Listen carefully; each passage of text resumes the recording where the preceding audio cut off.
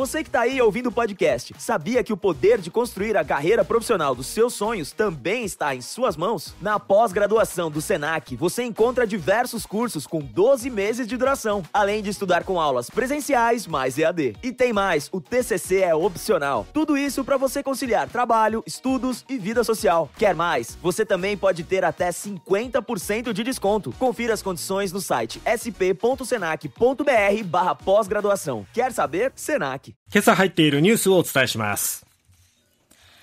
北朝鮮が今日、弾道ミサイルの可能性があるものを発射。海上保安庁はすでに落下したものとみられると発表。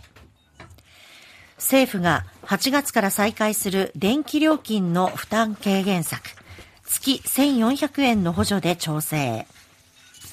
総務省、ふるさと納税に関するルールの見直しを発表。仲介サイトを通じてのポイントの付与を禁止へ。中国の無人探査機が地球に帰還。世界で初めて月の裏側の資料の持ち帰りに成功。沖縄県、アメリカ軍兵士が少女へのわいせつ目的の誘拐と不同意性交の罪で3月に起訴されていたことが明らかに。さて、まずは北朝鮮ですが、えー韓国軍は今日北朝鮮が日本海側に弾道ミサイルを発射したと発表しました。日本政府も弾道ミサイルの可能性があるものが発射されたと発表し、日本政府関係者は、日本の EEZ 排他的経済水域の外に落下し、現時点で被害は確認されていないと明らかにしました。これを受け岸田総理大臣は情報収集と分析に全力を挙げ国民に的確な情報提供を行うことや航空機、船舶の安全確認を徹底するよう関係省庁に指示しました日本とアメリカそれに韓国は新たな合同訓練を近く実施すると報じられていて牽制を狙った可能性があるということです。また詳しい内容が入ってきたらお伝えしたいと思います。さて、えー続いては朝日新聞の一面からですが、まあ、各紙も伝えていますが、政府は8月から10月に再開する電気代の負担軽減策について、1キロワット時あたり3.5円を補助する案を軸に調整に入ったと。家庭向け電気料金の1割程度に相当します。また、ガス代の補助額は1立方メートルあたり15円を軸に検討ということなんですけども、えーこの補助金に関しては、まあ、切れたばっかりなんですよね。で、急に先週末金曜日に岸田総理が会見したときに、えー補助金を8月からうん。出すっていうことになって、はい。なんか場当たり的だなーっていう感覚になっちゃいますよね。うんその、まあ、国書を乗り切る緊急支援だというふうにして再開するんだと補助金を言ってるんですけども、じゃあなんで7月ないのと。ねえ、8月からっていう、7月から暑いよっていう思うんですけどもね、はい特に電力の需要高まるんですけども、そういうところも含めて場当たり的だなと思ってしまいますそうがで、すね。政治資金規正法のね、ことで、ちょっとそれどころじゃなかったのかもしれない。いやいや、それも本末転倒ですよ、もう本当に。ですよねだとしたらね。ね。うんええあの、これに関するニュースはですね、また、あの、8時台の山根佐伯さんのブラッシュアップのコーナーでも取り上げていきたいと思います。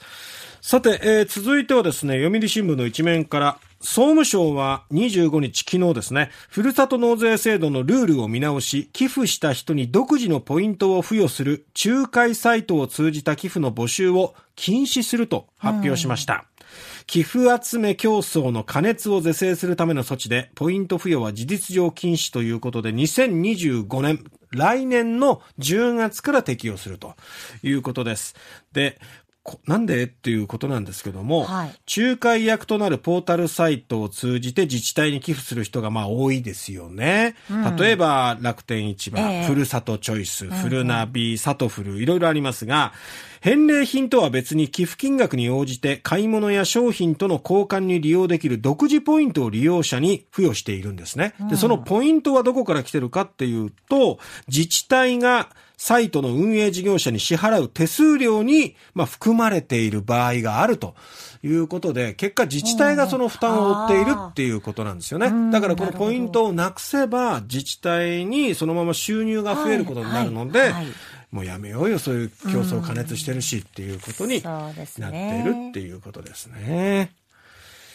えー続いてはですね、中国ですが、はい快挙ですね。月の裏側の土を採取した中国の無人探査機ジョーガ6号が昨日地球に帰還しました。日本時間の午後3時5分過ぎ頃に地元メディアが報じました。月の裏側から資料を持ち帰るサンプルリターンは史上初のことで、まあ、今後分析結果が注目されるということになります。この月の裏側っていうのは当然電波も何も届かないっていうことで、そこから、まあそこにまず着陸させるのも難しいし、ましてやそこから資料を持ち帰るっていうのは至難の技。まあある意味悲願でもあったわけですが、それができればっていうことだったんですが、えー、月っていうのは常に同じ面を地球に向けているので、その裏側の採取は本当に難易度が高いとされておりましたが、このジョーガ6号打ち上げた後、その前に打ち上げていた中継衛星を介することによって、地球と交信しながら月面に着陸したと。で、そこで資料を採取した後、また上昇機を打ち上げて、軌道上の周回機とドッキング。これがまたすごいですよね。そうですね道でこう周回しているものとドッキングすると、かなりのスピードで進んでいるものとドッキングして、うんうねで、さらにそこから地球に戻ったということです。で、今回中国が持ち帰ったのが、えー月の南極にあるエイト県盆地というところのアポロクレーター。この辺りにある資料で、えーまあ、月の起源とか歴史を知るのに不可欠ということですが、今後どういう分析結果なのか注目です。落語家の立川翔志です。1週間のニュースの中から気になる話題を題材に新作落語をお送りしているポッドキャスト番組立川生志のニュース落語。もう聞いていただきましたか？政治家の問題発言や動物たちの微笑ましいエピソードなどなど落語の世界でお楽しみください。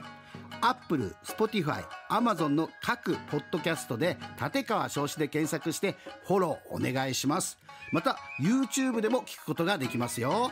さらに生放送でいち早く番組をチェックしたい方は radiko で RKB ラジオ立川少子キーサイトを聞いてください。毎週金曜朝6時半から10時まで生放送中です。さらにこの立川少子ニュース落語は本で読むこともできます。お近くの書店、ネット通販でお買い求めください。本と音声両方で立川少子のニュース落語。どうぞごひいきに。